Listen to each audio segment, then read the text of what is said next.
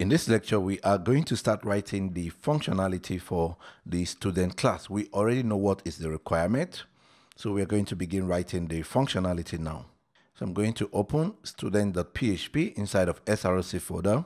Then the first thing I'm going to do here is to actually define some properties. And all the properties that I want to define for this class are going to be private. So private ID, and then we can put a comment at the top here. It's going to be ID the ID of the student. So this is something that you should get into the practice of doing, providing comments for the properties of a class. So I'm not going to do that for all of the properties that we have in this demonstration, but this is something that you should consider doing. This is going to be for the name of the student. And then for simplicity, I'm just going to add more properties here. Private result, private remark, private grade and then I'm going to create some set of properties for the subjects. So we're going to say subject one, then we're going to say sub 2 then we're going to say sub 3 sub 4 and sub 5 so we have five subjects. And then the next thing we want to do here is to create a constructor. The purpose of this constructor is to bootstrap the student class and then set the name of the student and also the ID of the student. So when we create a new student, this student is going to have a name and the student is also going to have an ID. So we say public function underscore underscore construct. This is going to take two parameters. The first one is going to be the ID and then the second one is going to be the name. And then we can say this ID is equal to the ID that is passed in. And then this name equal to name. And then to finish up this constructor, we are going to type hint it so that we specify the type of parameter that should be passing here. For the ID, should be an int. And then for the name, it should be a string. All right, so that's all for the constructor.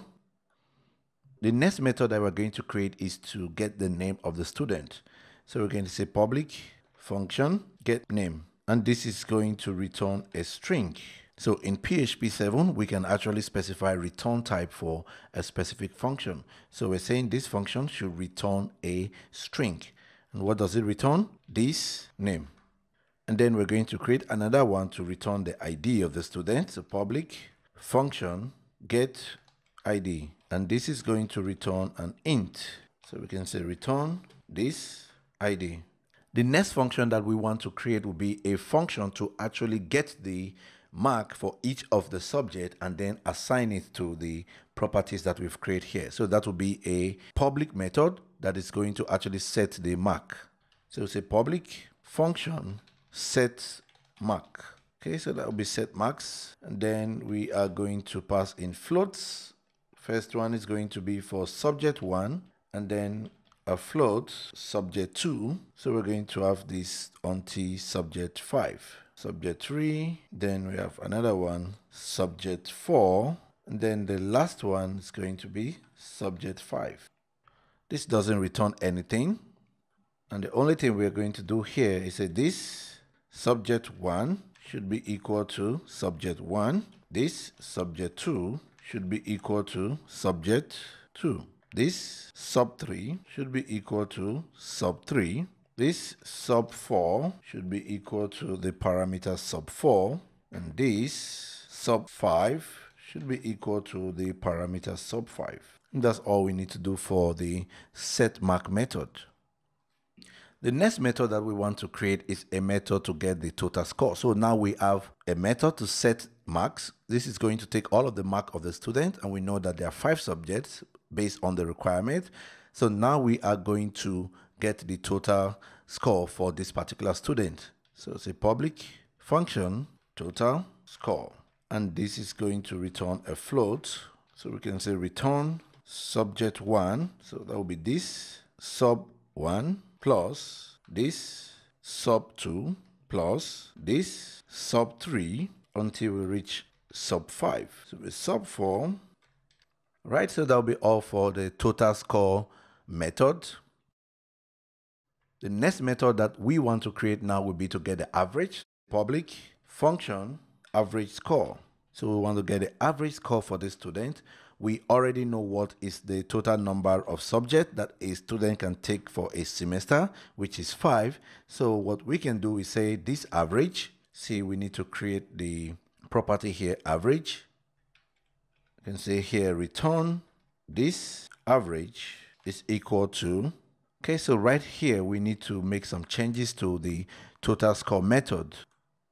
Right here we can say this total so that we can actually store that in a property inside of the class. So let's come back here and create a property called total.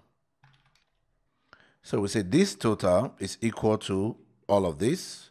And then here we can say return this average, this total divide by 5. And then the next one that we want to create will be to actually get the grade. So the grade will be basically based on what your average score is. So if your average score is 70 and above, you're going to be in the A grade. If it is between 60 and 69, you'll be in the B grade. And if it is between 50 and 59, you'll be in the C grade. And if it is between 40 to 49, you'll be in the D grade. And if it is between 0 and 39, you're going to be in F grade. So we're going to write a simple method here to actually get the grade of this particular student. Public function grade.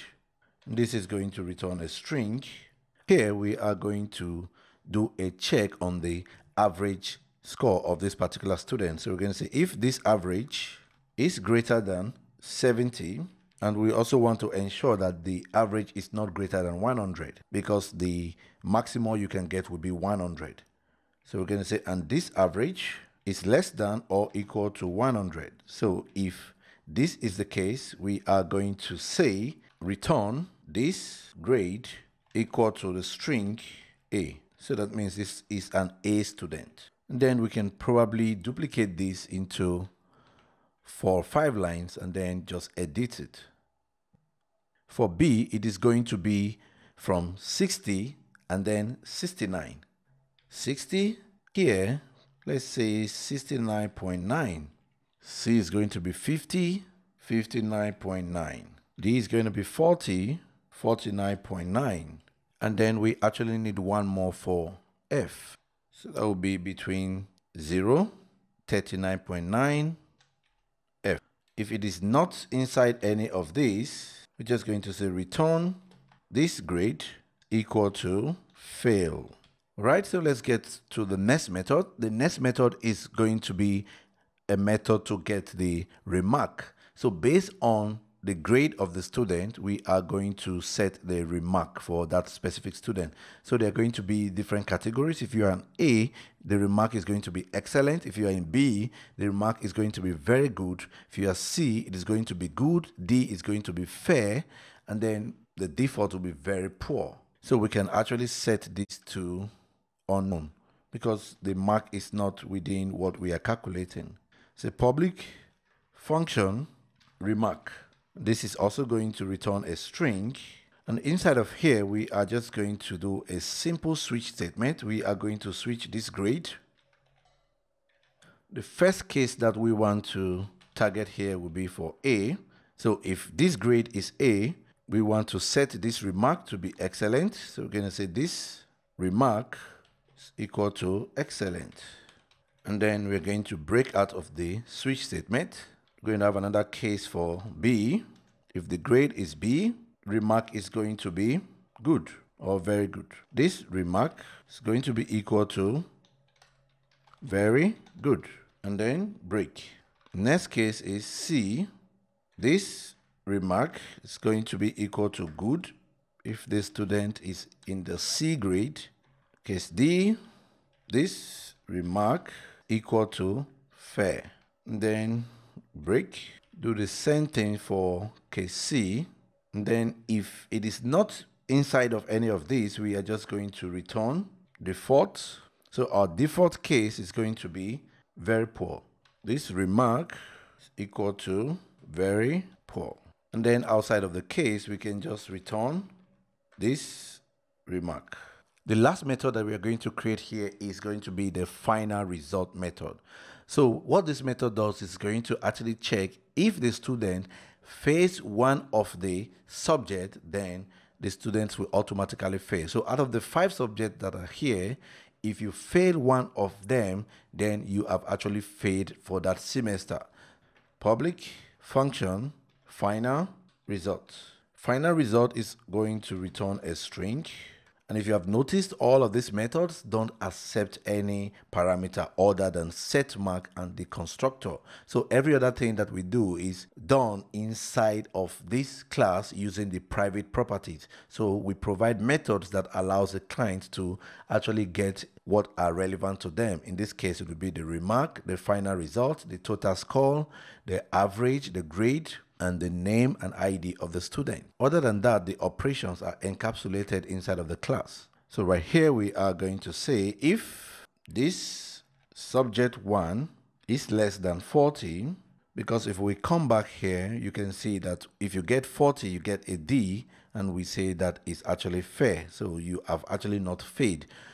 So what we are saying here is you should be able to get 40 or above to be able to actually pass that specific subject. So we want to check for all of them. So that will be this subject 2 less than 40 or this subject 3 less than 40 or this subject 4 less than 40 or this subject 5 less than 40. So if any of these are less than 40, we can set this result to be equals to failed or fail. Otherwise, we can set this result to be equal to pass. So you can do it this way or directly just return this result equal to the value. So it depends on your programming style. So here we can say return this result. So those are all the methods that we want to define inside of the student class. We started by creating the constructor and then we created a method to get the name of the student because the constructor needs two parameters to bootstrap the class, the ID and the name. So once we pass that in, we set it to the various corresponding properties and then we can actually get the name and the ID. And then we have a method to set mark, which is actually going to take five parameters and then assign it to the various properties that correspond to the parameters. And then next, we have a method to return the total score. It returns float. We have average score also returns float. And then we have grade returning string. And then we have remark returning string. And then we have the final result, which returns a string. All right, that will be all for this lesson. In the next lecture, we are now going to hook it up to the form and then pass it using the pass form.php file that we have here and then display the result inside of index.php.